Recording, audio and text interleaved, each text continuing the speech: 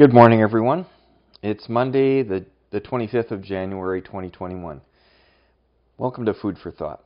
My name is Pastor Clint Lange with Hillside Community Church in 100 Mile House, BC, Canada. Well, we're continuing on our adventure in the reflection on uh, the book of James. And uh, today we're going to continue in James chapter 2 from verses 8 to 13. I want to speak about some thoughts with uh, an extension of what James was speaking about in earlier verses, which I covered off in the last Food for Thought. Um, warning believers uh, not to show favoritism towards anyone because of their external qualities, and not to show partiality on a perception that they lack certain qualities. We spoke about how wrong it was to look at people differently due to social class, and how wrong it was to presume what was inside the heart of an individual um, by the size of their bank account or how they looked and what kind of clothes they wore. So James continues encouraging his readers when dealing with other people to follow what he calls the royal law of Scripture. And James 2, verse 8 says, If you really keep the royal law found in Scripture, love your neighbor as yourself, you are doing right. And why does James call uh, loving your neighbor as yourself as the royal law? The law of love, you see, is the fulfillment of all the law and the prophets. It is what Jesus displayed when he came and gave himself as a sacrificial gift to us so that we could have life, even though it cost him his life, his own life. And Jesus, being the King of Kings and the Lord of Lords, um, he he followed this royal law. It, it was the law that was given through the example set down by Jesus Christ, and that's where we have Philippians chapter two which tells us that our attitude should be like that of Jesus Christ, um, who, being in very, very nature God, didn't consider himself equality with God something to be grasped. And it goes on to tell us how Jesus gave himself, um, you know, he stepped out of his heavenly royal position and became obedient to death on a cross. So, as Christ like ones, Christians mean, Christian means Christ like one with hearts that have been changed by the indwelling presence of the Holy Spirit, um, for for showing partiality to the poor, um, that it's out of nature with the Spirit that's living within us.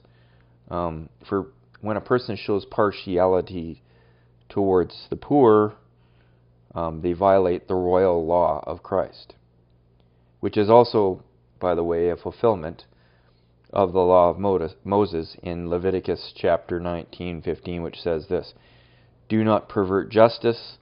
Do not show partiality to the poor or favoritism to the great but judge your neighbor fairly. You see what was written in Deuteronomy or in Leviticus I should say in the law is good. That's a good principle. But for those who are not regenerated by the indwelling presence of the Holy Spirit, it's impossible to obey the law of Moses. The opposite is also true that what the law was unable to do, in that it was weakened by the sinful nature, the Holy Spirit does empower inside of the believer. As written in Romans chapter 8, 3 and 4, where Paul tells the church, For what the law was powerless to do, in that it was weakened by the flesh, God did by sending his own Son in the likeness of sinful man as an offering for sin. He thus condemns sin in the flesh, so that the righteous standard of the law might be fulfilled in us, who do not walk according to the flesh, but according to the Spirit. Therefore, James was concerned that those who claim to have faith in Jesus and showed partiality towards the poor and favoritism, favoritism towards the rich, they could only possibly have a, an empty profession of faith. They might not truly be believers. This is why how we treat other people in accordance with the royal law of love as displayed by Jesus Christ. That is a litmus test for whether or not we truly possess saving faith. This is why James continues to speak in verse 9, um, saying this But if you show favoritism, you sin and are convicted by the law as lawbreakers. For whoever keeps the whole law and yet stumbles at just one point is guilty of breaking all of it. For he who said, You shall not commit adultery, he also said, You shall not commit murder. If you do not commit adultery, but do commit murder, you have become a lawbreaker. Speak and act as those who are going to be judged by the law that gives freedom, because judgment without mercy will be shown to anyone who has not been merciful. Mercy triumphs over judgment. So James moves from a specific example of partiality to poor people and favoritism, favoritism to rich people to make a blanket statement about favoritism. He says that favoritism, no matter how it looks, is sin that disregards the royal law of Christ. Regardless of the sin, it all starts with selfishness. Now, follow this. Selfishness is showing favoritism to ourselves at the expense of other people. Adultery is a selfish sin. Murder is a selfish sin. Being racist is a selfish sin. Stealing from other people is a selfish sin. When it comes down to it, when you think about it, all sin is selfishness. And it all starts with showing favoritism to ourselves over others. Thus, if one breaks the law at one point, he or she is a lawbreaker because the attitude that commits the sin is lawlessness.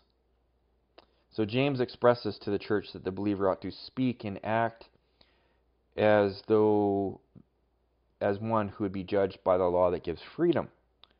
That is the royal law, which is in actuality a litmus test for true faith. So if we if we do not love God, we are not his children. We will not obey him, and conversely, we will not truly love others as we love ourselves.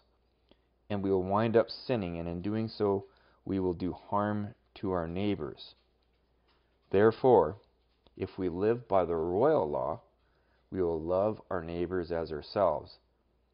And the royal law comes from the love of God, which is born inside of the believer when the believer becomes saved. See, when Jesus washes away our sins, he uh, takes his law and he writes it on the tablets of our heart by putting um, the Holy Spirit in us. The Holy Spirit comes and makes his presence inside of us. Therefore, when we love God, we uh, we're connected to Him and we obey Him, and we also love other people because the love of God is in our hearts. You see how the difference is people who try to obey the law of Moses on their own strength fail, they fall. It's only when there's a heart change, when the Holy Spirit comes in, that we can triumph. And uh, God shows us mercy and grace and forgiveness. And He wants us to be like minded as to Him and show mercy and grace to other people around us as well. And this is why mercy triumphs over judgment. God delights in having mercy on His children and he relents to send calamity. This is food for thought.